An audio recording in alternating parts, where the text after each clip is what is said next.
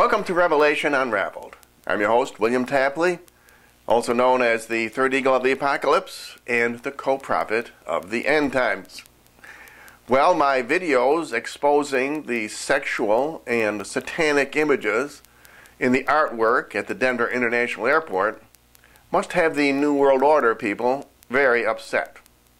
First, Anderson Cooper put me on his Ridiculist three times, and last night, Stephen Colbert mocked me on his Comedy Central program called The Colbert Report. William Tapley is a sweet 72 year old man who loves the outdoors, working in his garden, and exposing the truth. You're right. I do expose the truth, especially about the art at the Denver International Airport. You can mock me all you like, but I notice that neither Anderson Cooper nor Stephen Colbert can refute any of the facts which I give about the demonic art at the DIA. How did William Tapley develop this remarkable eye for the phallus? I did not understand that I had this gift. It's a gift from the Holy Spirit. A gift from the Holy Spirit? Come on, Mr. Colbert. You sent a crew up to my place, and I gave you an extensive interview, and now you take what I said totally out of context.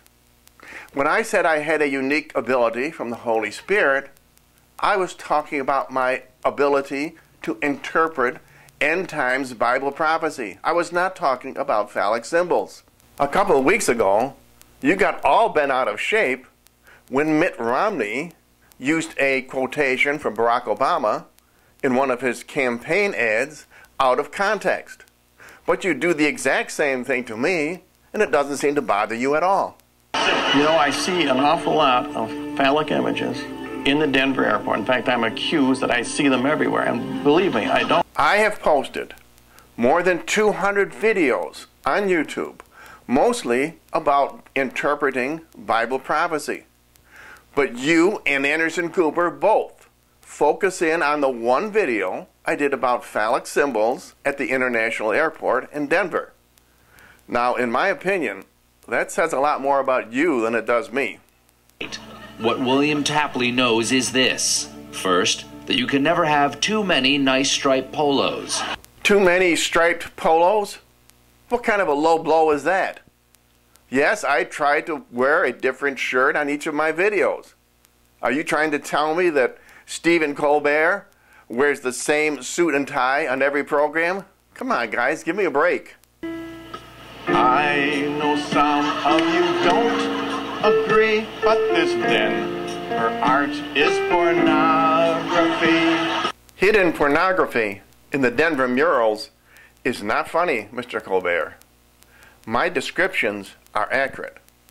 Let's take a closer look at this particular mural by Leo Tanguma. This penguin clearly has a hidden male sexual organ. And this over here is clearly a naked female body.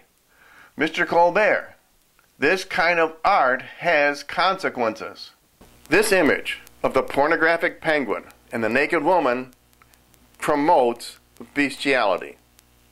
It should not be surprising that the United States military last week okayed sex between United States soldiers and animals.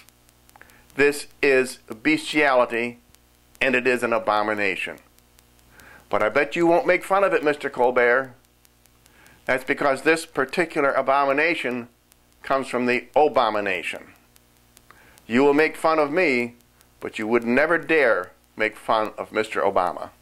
And the obvious question, why so many phalluses, has an equally obvious answer. The Denver airport they have set up as an alternate capital to the United States, it, and they mistakenly believe that if they give homage to Satan, he will protect them.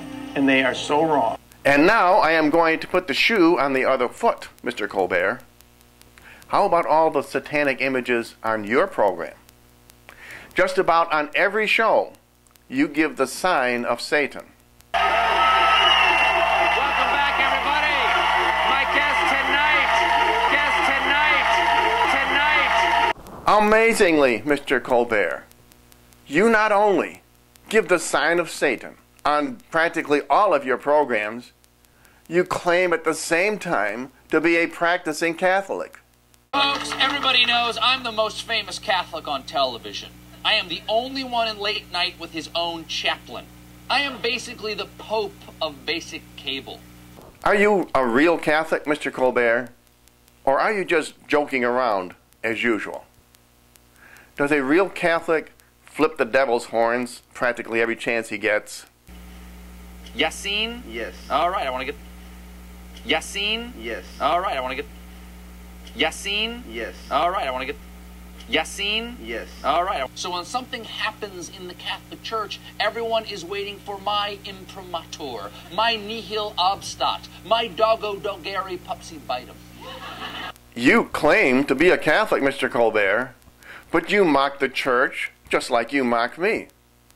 I find almost as many satanic signs on your program as I do at the Denver International Airport. To make Americone Dream their treat of choice. Their treat of choice. Their treat of choice. Now, regular viewers know you. Now, regular viewers know you. Viewers know you. I could go on and on, Mr. Colbert. I must have at least 20 clips of you flipping the devil's horns. No wonder you are very upset that I exposed the perversion and Satanism at the Denver airport. Phony art, dirty scenes. We can beat all